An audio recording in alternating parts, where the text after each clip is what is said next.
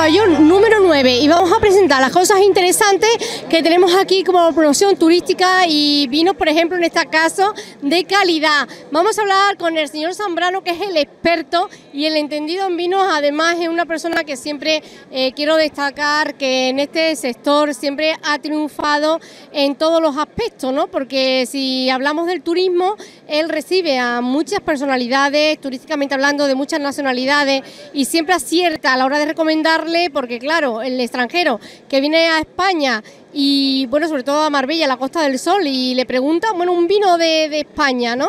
¿Y qué se le recomienda? ¿Y para qué paladar? ¿Para qué? Y eso es hace falta ser un genio, como es Zambrano. Bueno, Manuel Zambrano, de verdad que siempre nos encanta poder hablar con usted, ¿no? Y que aprendamos tanto, ¿no? De su sabiduría acerca de este exquisito producto. Muchas gracias Elena, como siempre, por toda tu ayuda, toda tu colaboración. Yo lo único que te voy a presentar y me voy a quitar, te voy a dejar que le haga entrevista a una de las bodegas más emblemáticas de España, que es la bodega de Emilio Moro. Entonces, él es Javier Moro, uno de los dueños de la bodega, entonces yo te voy a dejar para que le hagas una entrevista y te hable de los grandes vinos que tiene, que nosotros ahora vamos a meterlo en el mercado de Ambrosía. Entonces yo te dejo con Javier, yo te lo presento y después, bueno, pues él te va a presentar, te va a hablar de la bodega. Muchas gracias y encantado de volverte a ver. Sí, Zambrano. Bueno, yo sí he escuchado hablar de estos vinos, de verdad le tengo que decir, y para mí es un placer poderlo entrevistar y, que, y destacar eh, realmente lo especial de este vino, ¿no? Y por qué al paladar y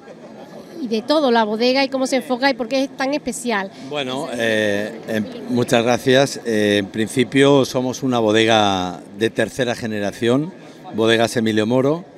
Yo ya pertenezco a esa tercera generación, en el cual enclavamos dos bodegas, Emilio Moro y Cepa 21. En el, mi mano tengo Cepa 21, que es un vino que hemos presentado recientemente con una imagen nueva, distinta, más moderna, haciendo vinos de un corte moderno. Nosotros nos basamos en la variedad tempranilla 100%, tempranillo, en el cual eh, tanto mi abuelo, perdón, como mi padre eh, nos han ido transmitiendo esa cultura del, buen hacer del vino y afortunadamente hoy tenemos un, panorama eh, internacional importante, somos una bodega bastante acreditada eh, en todo el mundo, exportamos a más de 60 países y todo conjugado con la variedad más importante de la zona, que es donde mejor se representa, que es la variedad tempranillo.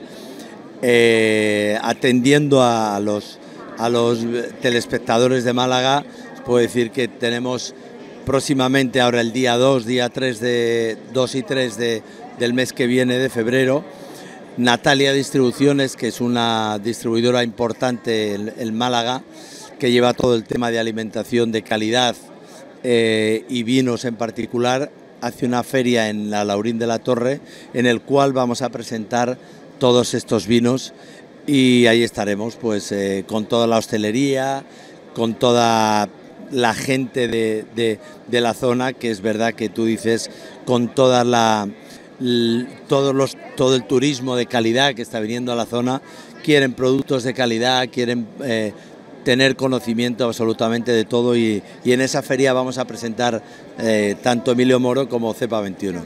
Es una cultura, pero el vino es una cultura y hay tanto detrás ¿no? de esta copa que nos podamos beber, hay tanto detrás y usted sabe más de eso que nadie. Pues eh, te puedo decir que sí, atendiendo a esa tercera generación, date cuenta de mi abuelo, que era Emilio Moro, Empezó con los viñedos, elaborando como se elaboraba artesanalmente, cogió las riendas mi padre y mi padre nos las trasladó a, nosotros.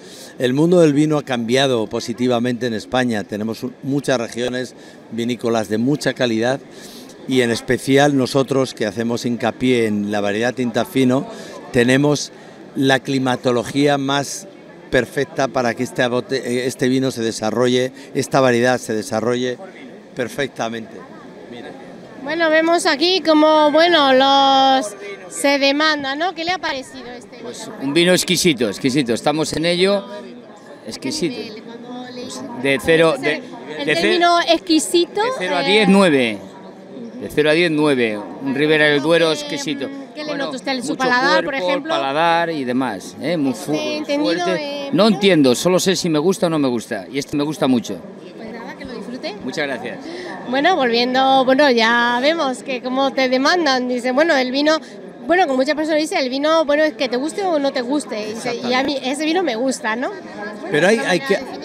Hay, sí, hay gente que, claro, no sabe especificar, no sabe expresar lo que, lo que lleva un vino, ¿no? Pero, pero tú tienes que ser el, realmente el profesional y poner en, en valor un vino pensando en el consumidor, pensando en qué gusta el consumidor. Hoy la gente demanda vinos frescos, vinos limpios, vinos con cubiertos de color, pero vinos muy frescos aromáticamente, con un paladar estructurado, largo, pero al final que tenga un final goloso, un tanino dulce, un tanino amable y que te invite a beber. Y esa es, esta variedad es, eh, conlleva todas esas propiedades, por eso tiene tanto éxito. Muchas gracias por definirlo también como lo ha definido y enhorabuena porque mí estos vinos, bueno, pues estén en la Costa del Sol, estén en Andalucía, que bueno, pues eh, se le ha definido eh, Fitur la reina. Claro ¿eh? Es la reina este año en Fitur y bueno, tenemos como protagonista también la cepa 21 de Emilio Moro. Enhorabuena por su producto y que nos veamos mucho en Marbella. Muchas gracias. Ahí estaré el mes que viene dando guerra. Ahí estamos nosotros también. Gracias. Fuerte abrazo. Bueno, hablamos con Pepe Ruiz, Amelino, en esa gran serie que impactó a todo el mundo. Bueno, aquí degustando también este exquisito vino, ¿no, Amelino? Divino. Bueno, mucha Todo gente, mu- mucha gente te dirá Emilio Amelino Moro, todavía. todavía, afortunadamente, el personaje acabó con la personalidad del individuo y seguiré siendo Abelino hasta que me muera. Pero es bueno, ¿sabéis por qué? Porque tengo una enorme cantidad de amigos, muchos, por todos los sitios del mundo. Y ahora en este momento, te lo agradezco, yo quiero brindar por todos, por vosotros, porque nos vaya bonito y porque la familia Moro siga siendo el mejor vino del mundo. Pues el año pasado nos vimos que en el mismo sitio, en Claro. Fitur, el año pasado, que le entrevisté y me encantó saludarle. Hijuelo, que es que qué cosa, ¿eh? ¿Qué tendrá? Tiene imán, ¿no? Persona como usted, ¿no? Que tan artista, ¿no? Que tantas personas, ¿no? Lo, lo quieren y lo admiran, ¿no? Que tenga siempre unas palabras para la prensa, para los medios. Yo se lo agradezco muchísimo porque yo sé que, que es una persona usted muy querida por todo el mundo. Un hombre del pueblo, ni más ni menos, como somos todos en el fondo. Y el que quiera darse mucho pote y mucha importancia, pues allá él. Tenemos que ser llanos, acercarnos a todo el mundo, dejar que todo el mundo se nos acerque y confraternizar, que es una hermosa palabra. Gracias. A vosotros, Como guapos. siempre. Bueno, Emilio Moro, enhorabuena. Gracias, un placer hablar.